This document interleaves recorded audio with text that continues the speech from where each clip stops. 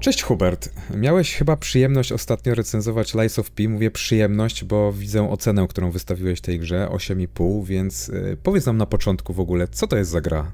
No cześć Adam. Miałem przyjemność i nie ukrywam, że przyjemność to rzeczywiście była, bo Souls-like lubię, mhm. a to jest Souls-like można powiedzieć przez duże S. Nie grałem w grę podo bardziej podobną do produkcji From Software. Nio czy choćby Tymesia, która ukazała się rok czy dwa lata temu, są podobne, ale nie aż tak. W pierwszych godzinach zabawy miałem wręcz e, przeświadczenie, że e, twórcy dostaną pozew od From Software za plagiat. Na szczęście, na szczęście e, w kolejnych godzinach e, to wrażenie się rozmyło. No dobra, ale czy, czemu pozew? To znaczy, bo to rozumiem, że chodzi o to, że gra jest po prostu bardzo podobna, tak? No pierwsze godziny, no to w zasadzie ma, ma się wrażenie, jakby się grało w Bloodborne'a. I chodzi to o ruch postaci, o przeciwników, o wszystko po prostu słowem, tak? Jest gęsty klimat, taki mroczny. Miasto Krat jest bardzo podobne do Jarnam. Kwestia jest okresu, epoki, na której się twórcy inspirowali. One są do siebie dość e, historycznie po prostu zbliżone, więc to być może z tego wynika. Ale też właśnie takie rzeczy jak ruch postaci, walka, bronie, taka jakby ich movement cały, no to jest dość podobne. Na szczęście, jak wspomniałem, to się e, potem troszeczkę tak rozmywa. Twórcy prowadzają swoje pomysły do rozgrywki. A początek jest właśnie taki bardzo Bloodborne'owy. A jaki, jaki w ogóle jest historia? O czym nam opowiada Lies of P? Jest to mroczna adaptacja powieści Pinokio, przy czym jeśli znasz tę powieść, znajdziesz jej elementy w grze, jednak nie są one tak... nie zostały po prostu przeniesione do gry e, w taki sposób, w jaki znamy je z książki. Po prostu twórcy po... je mocno pozmieniali. Tak, po... występują postacie, nazwy. Fajnym przykładem jest, być może pamiętasz, w książce występuje taka postać jak Meister Antonio. To nie, ja, sam... ja nigdy nie czytałem, wiesz, w sensie ja jestem zupełnie, bym podchodził do gry zupełnie jako świeżak. Ja czytałem, ale to było bardzo dawno temu, początek XXI wieku, czwarta klasa podstawówki ale na potrzeby właśnie gry przeczytałem sobie takie dość szczegółowe streszczenie. Więc na początku książki jest taka postać jak Meister Antonio, a w grze mamy Antonię, która bardzo pełni taką ważną rolę fabularną. I co ciekawe, właśnie tutaj takie porównanie do Bloodborne'a, ona siedzi na wózku mm, w tym hotelu i bardzo przypomina Germana, który w Bloodborne również siedzi na wózku i nas jakby wprowadza w świat, podobnie jak ona. Tutaj. No pamiętam, pamiętam, tak. Ale to jest w takim razie tak, czyli jest Pinokio, a historia Pinokia ma taki dosyć ważnym aspektem, kluczowym wręcz, jest kwestia, kwestia kłamstw. Pinokio, kiedy kłamie, no to jego drewniany nos robi się coraz dłuższy, prawda? Czyli jakby utrudnia mu funkcjonowanie i to jest taka, rozumiem, e, trochę moralizatorska opowieść o tym, że kłamstwo nie jest niczym dobrym. E, I Lies of P zatytułowane dosłownie Kłamstwa Pi w domyśle pewnie Pinokia, jakoś ten motyw wykorzystują? E, wykorzystują. Co ciekawe, już e, żeby wejść do tego hotelu, który jest naszą taką bazą wypadową, hubem, musimy skłamać, powiedzieć, że jesteśmy chłopcem, a nie marionetką. Tutaj popełniamy jakby taki grzech pierworodny, ale co z tym później zrobimy, to już zależy od nas. Przy czym właśnie tak jak Pinokio kłamał i tam nie słuchał się i postępował źle, tak tutaj, kiedy kłamiemy, jest to o tyle dziwne, bo bardzo często kłamiemy po to, by komuś nie sprawić przykrości. Na przykład e, wspomniana wcześniej Antonia jak tam pociągniemy troszkę jej quest, patruje się w swój portret z lat młodości i pyta nas, czy wciąż jest podobna do tej dziewczyny, którą kiedyś była. No i możemy jej powiedzieć, że owszem, jest podobna, a możemy powiedzieć, że tego podobieństwa już w ogóle nie widać. Ja wybrałem tę pierwszą opcję, no i ona tam, wiadomo, taka skromno bardzo udawała, ale nie wiem, co by było tak szczerze, gdybym skłamał w tym, powiedział prawdę. Ciekawa pułapka, czy w sensie pomyłka, bo Paradoks chyba, tak z tego co rozumiem, Lies of P polega na tym paradoks, taka ciekawe podejście twórców, że o ile kłamstwo kojarzy się, zwłaszcza w opowieści z Pinokiem, czymś złym, jest, jest jakby czymś piętnowanym, o tyle z tego co rozumiem, to w Lies of P kłamstwa z kolei e, służą robieniu raczej dobrze ludziom, których się spotyka, że to prawda jest czymś okrutnym i tym e, krzywdzącym. W dużej mierze tak, jeśli chodzi o takie postacie poboczne, ich zadania, to można tak powiedzieć. Aczkolwiek są też takie elementy, e, że musisz jakby spojrzeć prawdzie w oczy i pod koniec gry spotyka się taką postać, która przewija się w zasadzie przez całą opowieść. To jest taki wątek poboczny, ale ona zadaje ci pytanie, czy, czy jesteś mordercą.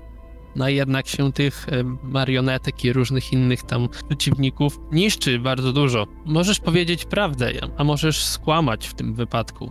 I no jakby prawda to jest taka przyznanie, takie przyznanie się do czegoś złego.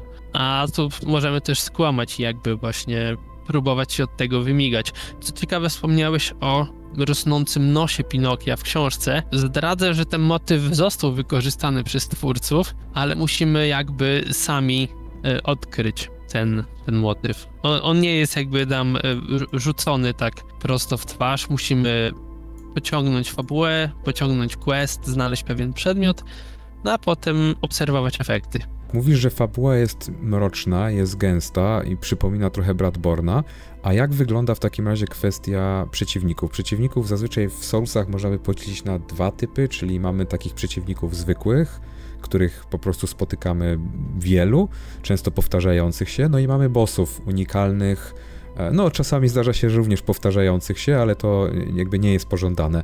Więc jakbyś, jakbyś co byś powiedział o przeciwnikach? Przede wszystkim są różnorodni, przy czym ta różnorodność nie wynika wielu modeli przeciwników, ale z czegoś takiego, że twórcy umiejętnie wykorzystują tych samych wrogów. Tu musiałbym sporo zdradzić z fabuły, więc tego nie będę robić. Powiem tylko tak, że to jest dużo bardziej umiejętnie zrobione. Oczywiście rozmiar gry jest zupełnie inny, ale jest to bardzo umiejętnie zrobione, nawet bardziej niż w Elden Ringu, gdzie ci przeciwnicy są ewidentnie skopiowani, choć tam czasami mają różne ruchy.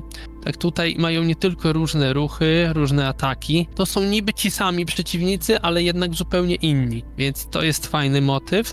No i tak, zwykłych przeciwników możemy podzielić na takie dwa typy. Takich zwykłych, które się odradzają, kiedy odpoczniemy przy tak zwanym ognisku i takich, którzy są mocniejsi, ale kiedy ich zabijemy, oni się już nie odradzają. I oni często właśnie pilnują jakiegoś tam ostatniego zakrętu przed takim ogniskiem. To jest w sumie też fajny motyw, bo mamy takie przeświadczenie, że giniemy, a już mielibyśmy taki kolejny checkpoint. Jeśli zaś chodzi o bossów, y, tutaj też możemy wymienić dwa typy bossów pobocznych i bossów głównych. No i poboczni różnią się od głównych w tym wypadku tym, że nie są do końca opcjonalni, bo wydaje mi się, że przynajmniej z niektórymi z nich musimy się zmierzyć tak czy siak. Poboczni są w takim wypad w takim sensie, że te walki różnią się od tych z bossami głównymi. W taki sposób, że możemy na przykład w trakcie starcia, jeśli nam nie idzie, uciec do ostatniego ogniska lub po prostu zginąć i jeszcze raz podejść do tej walki, ale nie musimy wchodzić na taką jakby docelową arenę. Nie jesteśmy oddzieleni żadną tam mgło,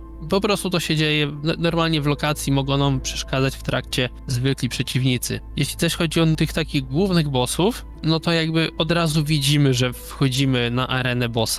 Przed nimi bardzo często są ustawione takie kamienne misy, do których możemy tam wrzucić okrąg gwiazdy, taki przedmiot i wtedy w trakcie walki pojawia się zjawa, która nam pomaga. Tam później pojawia się też taka mechanika, że tę zjawę możemy w pewien sposób buffować, żeby była mocniejsza albo wytrzymalsza, albo lepiej odciągała uwagę wroga.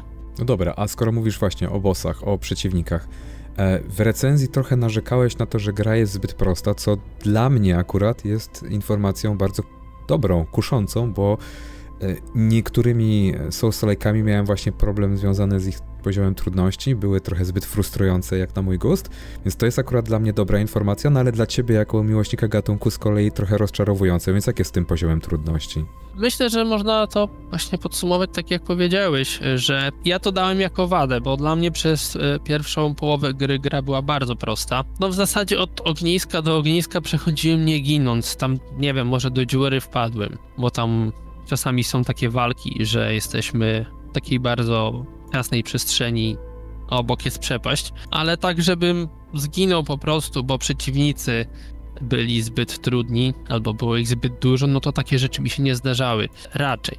Nie, nie mówię, że w ogóle. W drugiej połowie na szczęście od tego troszkę udało się twórcom odejść, postawili przed graczem wyższe wyzwanie. Mimo, że dałem ten niski poziom trudności na początku jako wadę, to rozumiem, dlaczego deweloperzy zdecydowali się na taki ruch. Tak jak mówisz, y, taki gracz jak na przykład ty w ten sposób dużo mniej, albo łatwiej mu będzie po prostu wejść w tę grę. Nie powinna go ona odrzucić tak jak na przykład Bloodborne może odrzucić. Ja pamiętam, że właśnie miałem z Bloodborne'em taki problem, że zwłaszcza po Soulsach nie mogłem się z początku przestawić na ten dynamiczny system walki. Tutaj takiego problemu nie będzie, bo gra daje ci właśnie czas, żebyś się oswoił z pewnymi rzeczami. Okej, okay, okej, okay. a w takim razie powiedz mi, ile w ogóle czasu spędziłeś w, w Lies of P? 40 godzin, tam bez może są kilku minut. A czy ta 40 godzin to jest taki maks, co można wycisnąć z gry, czy jest jeszcze możliwość na przykład e, zabijania tych bossów opcjonalnych, których jest jeszcze paru na przykład, których nie, nie musiałeś pokonać i gdzieś zostali na mapie, czy raczej to już jest kiedy kończysz grę, to zasadniczo masz już wszystko za sobą. Nie kojarzę żadnego bossa, którego mogłem pominąć, co, co nie znaczy, że ich nie ma. Aczkolwiek są takie, takie zagadki, znajdujemy, takie zaszyfrowane pojemniki, tam w środku są takie miejscówki pokazane i na przykład można się pobawić e, w odszukiwanie ich. E, są też e, takie zagadki, które zadaje nam pewien tajemniczy jegomość. Jeśli odpowiemy poprawnie na jego pytanie, one są zwykle dość proste, chociaż na jednej się wyłożyłem, to dostajemy takie E, klucze trójcy i możemy znaleźć e, odpowiednie drzwi. I tam są jakieś właśnie nagrody, ale też elementy loru, które warto tam sobie przyswoić. Więc ja myślę, że w ciągu tych 40 godzin odkryłem mniej więcej 70-80% gry. Coś tam jeszcze na pewno zostało. Ale już nie jakoś bardzo dużo. Rozumiem. A mówiłeś dużo o inspiracjach, jakimi twórcy się mm, kierowali, znaczy właśnie Soulsami, Bloodborne'em, y, trochę Sekiro, bo tam jest taka, mm, e, taka rękawica, która działa podobnie do Sekiro. I teraz powiedz w takim razie, ale co jest w tej grze mało Soulsowego? Czyli jakby, czy, czy są jakieś elementy, które są bardzo oryginalne, albo z kolei wzięte z innych gier, coś co nie jest właśnie Soulsowe? Nie jest From Software, może w ten sposób. Myślę, że narracja nie jest taka, jakby wyszła spod pióra Hideteki Miyazakiego, bo jest podana w bardzo taki bezpośredni sposób. Pisy przedmiotów owszem są, są nawet bardzo takie szczegółowe, często mają 3-4 strony, a nie dwie linijki, jak w Bloodborne na przykład, ale w zasadzie nie musimy ich czytać. Wystarczy, że będziemy rozmawiać z postaciami, i to nam wystarczy, żeby w pełni zrozumieć fabułę.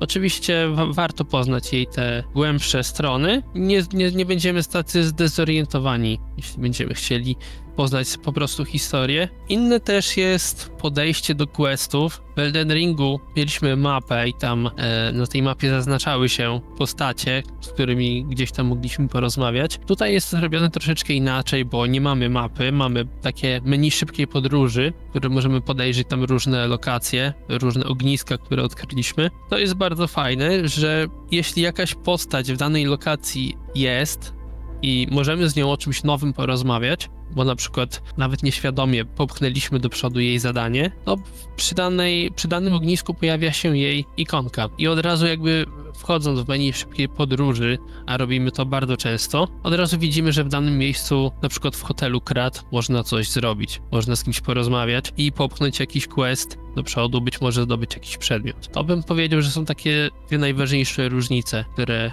Lies of P różnicuje od gier From Software. Dobra, a powiedz mi, bo tak, grałeś na PlayStation 5. Zazwyczaj gry na PlayStation 5 działają poprawnie, ale warto zapytać, bo różnie z tym bywa, więc powiedz mi, jak sobie radziło Lies of P na konsoli? Odpaliłem grę od razu w trybie wydajności, bo jakby w Souls Like'u nie chcę mieć generalnie do czynienia z trybem jakości i bawić się w 30 klatkach i tutaj było naprawdę, naprawdę fajnie. Nie mierzyłem tego w jakiś tam specjalistyczny sposób, jedynie na oko, ale myślę, że przez większość czasu gra działała w tych 50-60 klatkach, przy czym spadki nawet jeśli były, to były niezauważalne w zasadzie. Więc tutaj było bardzo dobrze, a grafika jakby mocno na tym nie ucierpiała, bo też twórcy przyjęli e, na tyle atrakcyjny styl, że również w tym trybie wydajności prezentuje się gra bardzo dobrze. No dobra, czyli rozumiem, że tak, gra ci się podobała, polecasz ją, y, gdy, czy będziesz na przykład czekał, nie wiem, ciekawić się, czy twórcy pójdą e, za ciosem i, i na przykład zrobią Lies of P2?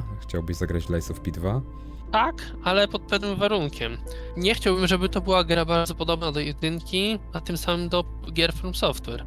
Jeśli twórcy postanowiliby wdrożyć więcej własnych pomysłów, a mają fa fajne całkiem pomysły, nawet rozwój postaci, o którym właśnie wspominam w recenzji, tak zwany napęd P, jest bardzo fajnie zrealizowany i po prostu fajnie się kombinuje, dobierając te umiejętności pod własny styl gry. W recenzji zresztą zatytułowanej Najlepszy klon Dark Souls e, postawiłeś taką tezę, że, że jest to no, najlepszy klon Dark Souls, czyli jakby tych klonów trochę już powstało, ale, ale ten twoim zdaniem jest najlepszy, ale mimo wszystko wolałbyś, żeby był trochę mniej klonem, a trochę bardziej sobą, co?